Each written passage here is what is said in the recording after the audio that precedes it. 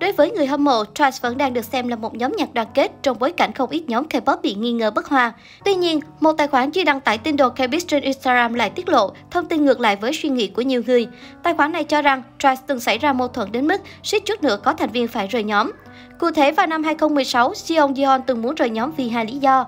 Đầu tiên là việc công ty thiếu quan tâm tới cô khi dành cho nữ ca sĩ quá ít phần hát, thời gian lên hình. Thứ hai, Seon Yeon không có mối quan hệ tốt đẹp với tất cả các thành viên trong nhóm. Cô được cho là từng không hài lòng với Jihyo ở cùng nhóm với mình. Vào thời điểm 2016, khi mà Trust vẫn còn là tân binh, JYP đã tìm mọi cách để giải quyết êm đẹp mọi chuyện. Công ty đã ký thỏa thuận với Jeon Jeon. Văn bản có thể đề cập tới chi tiết cô buộc phải gia tăng độ nhận diện với công chúng trong vòng 6 tháng. Bằng không, nữ ca sĩ phải rời nhóm. Hiện tại, Jeon Jeon vẫn còn hoạt động trong Twice nên cô rõ ràng đã vượt qua thử thách cho JYP đặt ra cho mình. Đến nay, tin đồn này vẫn chưa được kiểm chứng.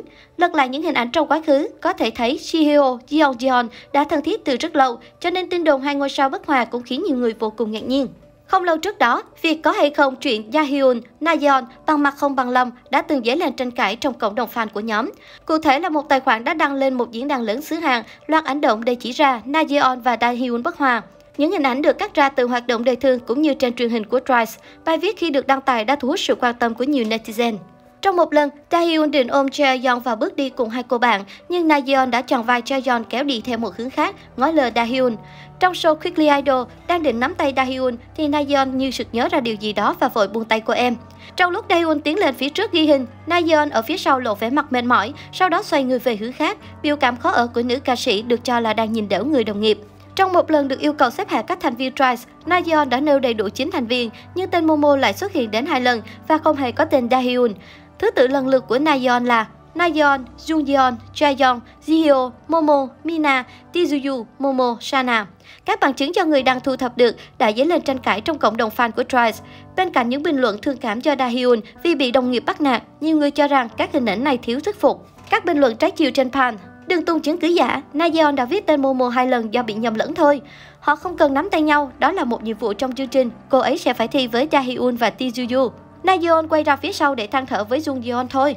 Không chắc là họ có bất hòa hay không, nhưng nếu tôi bị đối xử như trong ảnh thứ nhất, tôi sẽ rất khó chịu.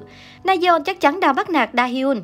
Thêm vào đó, cư dân mạng còn xôn xao truyền tay nhau một đoạn hội thoại được cho là của hai thành viên nhóm nhạc Twice, Nayeon và Dahyun. Điều đáng chú ý là trong cuộc trò chuyện này, cả hai đã tỏ thái độ không mấy hòa hảo, thậm chí ghét nhau ra mặt. Cụ thể khi được Dahyun hỏi, sao em vừa mới đến thì chị lại rời đi vậy? Nayeon đã nửa đùa nửa thật trả lời, chị đã bảo là chị ghét em à, khiến cô này kinh ngạc. Thật đó hả? Sau đó khi trò chuyện với một người khác, Dahyun nói thêm, chị ấy ghét mình chắc luôn, lần nào cũng thế, mình tới là chị ấy đi liền. Cuộc trò chuyện càng khiến người hâm mộ nghi ngờ về mối quan hệ bất hòa giữa hai thành viên Twice. Thậm chí, có người còn cho rằng chuyện này cũng chẳng lạ, bởi lẽ Nayeon đã hơi tỏ thái độ khinh thường thành viên trong nhóm Dahyun rất nhiều lần. Tuy nhiên, một số khác bình luận bên vực Nayeon cho rằng đây chỉ là cuộc hội thoại trêu đùa vì hai người vốn thể hiện thái độ rất tốt khi ở bên nhau.